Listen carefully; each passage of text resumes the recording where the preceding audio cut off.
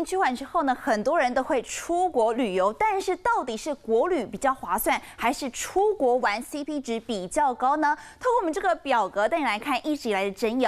如果呢以到了这个日本和台南来玩的话，做比较，其实光是这个交通的费用就有些差异了。像是飞机就是万元起跳，但是如果您到台南的话，不论是高铁或自驾，绝对呢是万元有找，两个人大约是六千到七千的车票钱。好，那我们在饮食方面，其实呢日本一碗拉面也真的都不便宜，都要两百起跳。但是台南的小吃相对来说是比较便宜的，一百到一百五十元就可以解决一餐了。那么以住宿来说呢，其实台南的住宿呢也是相对来说比较划算，而且房间也比较大。好，其实就算呢是有很多人是支持国旅，但网友也说了，其实出国 CP 值真的是比较高，因为呢出国之后呢可以玩到东西也比较多，尤其呢是出国之后住宿的这个饭店选择多，价格也没有国旅来的这么高哦。好，看起来大家呢都有不同的喜好，还是要看您如何选择。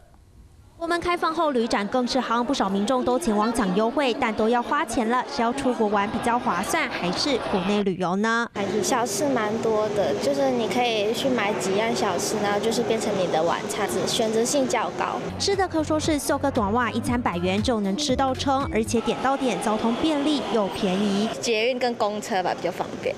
价位合理，蛮便宜。其实我们根据国人最爱去的日本来做比较，交通方面，台湾公车北高都是十多元，日本则是两百一十元到两百三十元日币，换算下来大约是五十元左右。而以北高捷运来说，最便宜的二十元左右，最贵的五六十元。东京、京都都是落在四十到八十元之间。看起来台湾的交通费用略胜一筹。幅员比较广大，交通费用在你的旅游成本来说是比较高昂的。出外旅行除了交通费用之外，住宿费也占了旅费的一大半。在这个竞争市场来说，当然日本的饭店会有很多创意的行销手法，会让我们觉得说它的 CP 值好像真的很高。台湾的饭店或者一些民特色民宿，其实定价上面是比较偏高一点。包客来讲的话，就是国外或者国内来讲，预算基本上都不是太高的情况下，其实应该都差不多。背包客平价旅馆大约都在千元左右，中阶的商旅饭店等等，台湾至少要二到三千元，日本则是高一些，平均来到四千元。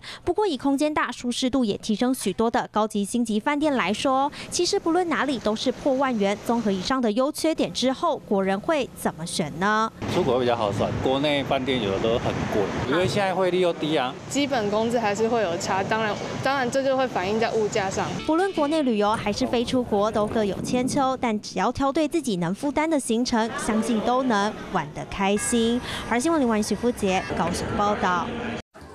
华视新闻看起来，赶快订阅我们的华视新闻 YouTube 频道，欢迎按赞、订阅、开启小铃铛，最新最及时的资讯要提供给你。